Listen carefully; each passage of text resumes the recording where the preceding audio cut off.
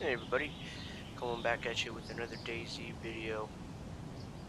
So recently I've been looking for a tent, and um, I actually just found one the other day while I was wandering through the woods. I ended up finding this car. So uh, I was heading for my buddies down south, and as I was heading that way, I was kind of looking at the map and end up running into a pole and destroying this vehicle. And come to find out, there ends up being a tent in the back so I end up carrying this thing around with me for quite a while because I am pretty scared that it's going to disappear the server resets and it's not in my inventory or whatnot because I've had that happen to guns and other uh, pieces of equipment. So uh, the car runs out of gas here and I kind of end up just coasting on down this hill and uh, kind of crash into a tree at this point up here. And then this is when I really find out what every, you know, all the items that are in there and the thing's damn near full. I think they hold 300, and it had like 280 something, uh, I'm gonna say pounds worth of items. But uh, so I fuel up, end up starting this thing back up, and this is, you know, at this point I'm still heading south to meet up with my buddies. I also showed what server I was in, so that way I can recall to the server, because I'm going to be setting the tent up to see how long it lasts, about how much you can hold in it, and about what you can actually do with it. I'm going to be putting the camo net on it to show how well that, you know, kind of hides it and camouflages it from, you know, enemies walking by um, or anything like that. And so at this point, I finally get this car out of here and start heading south again toward my friends.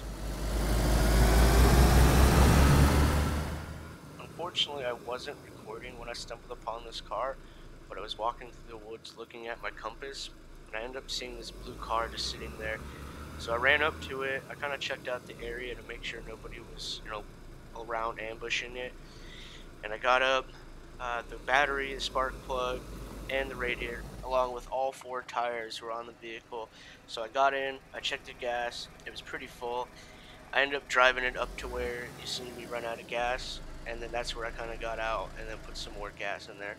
So I end up hitting this first pole because I'm really trying to look at the map on my phone and drive at the same time and kind of guess where I'm at, you know, in the direction I'm heading.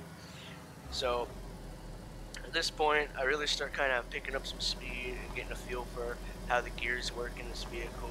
Uh, first gear, it seems like, is about the only thing that can really get you up any hills.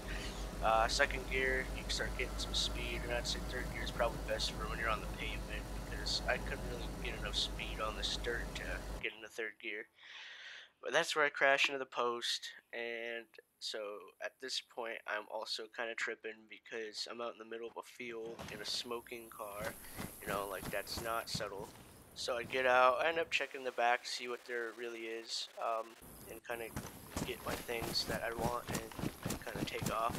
I didn't have enough room in my backpack, so I just grabbed the tent in my hands and hit the tree line and that's how I got the tent. So this is how you're going to want to set it up. Uh, it's very specific on the sort of ground you can set it up on. So you're going to get in your hands and hit right trigger. It'll put this transparent figure, and that's kind of the base on, you know, kind of what the tent's going to look like. It'll light up to this white color right here, looking like that when you can set it up.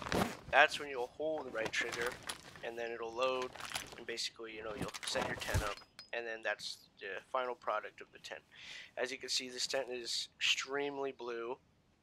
You can't access the inventory from the outside, but you can from the inside, so that's a good thing. Um, I put a couple of things in here just as a test to see uh, if it will hold those. uh, some things that I did want just in case the tent does disappear. So after I set the tent up, I end up heading out here uh, to kind of loot some things and get some food uh, see what I can find. End up getting a little bit of zombie action. I figured I'd put that in the video just, you know, because.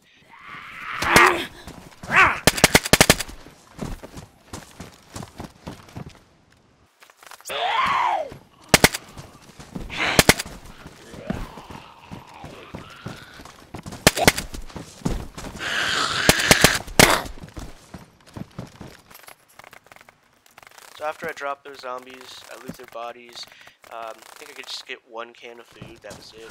Uh, end up looting the rest of the buildings and running back to the tent. while I was there, I did take some hunter's pants and some basic items in case I do die, and this does work. That way I can come back and, you know, get some new items, and I know where they're at.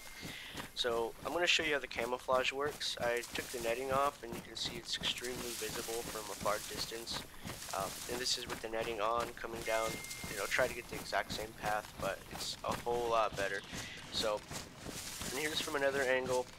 Uh, same with this again, you can see the tent clearly, but with the camo netting on, it does, you know, wonders.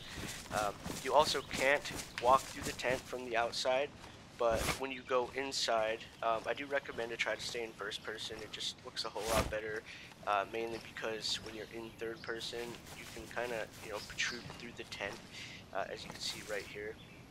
So, uh, you know, really to uh, first yourself in the game, you're going to want to stay in first person. Now the best place to find the tents are in the big cities, uh, apartment buildings and whatnot. Uh, they do hold 200 pounds, so they are really good to have, and that's why I was pretty uh, curious on whether it would disappear if I left it in the server.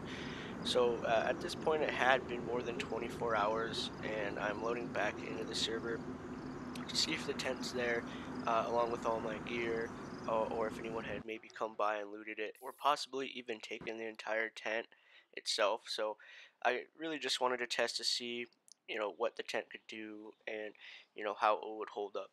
Uh, as you can see, it definitely stayed, so that's a plus.